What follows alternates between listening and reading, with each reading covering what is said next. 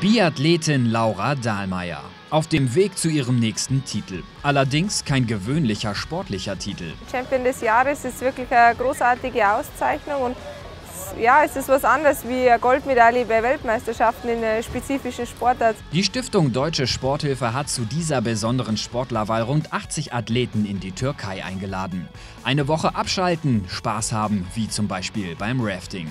Für die fünf nominierten Champion-Anwärter geht es aber auch um ein bisschen Wahlkampf. Ich glaube, eine super Auszeichnung und eine Ehre, wenn man das mal sein darf, weil ja, wenn man da jedes Jahr dann zu so einem genialen Urlaub fahren darf, ich glaube, da reißt sich schon jeder einen Arsch dann auf.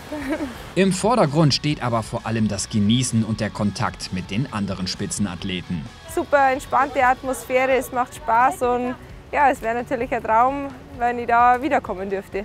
Dahlmeiers Bewerbung zur Nominierung, der Weltmeistertitel in der Biathlon-Staffel und Platz 2 in der Verfolgung. Ich glaube, da hätte keiner damit gerechnet, dass wir da so überlegen gewinnen und ähm, ja, dazu noch die, die Einzelmedaille ein Traum. Es war mit Abstand die beste Saison meiner Karriere. Das Sahnehäubchen eines erfolgreichen Jahres aber wäre definitiv die Auszeichnung als Champion des Jahres. Ich möchte gerne Champion des Jahres 2015 werden, weil es nicht nur für mich, sondern auch für das ganze Team eine super Wertschätzung der letzten Saison wäre.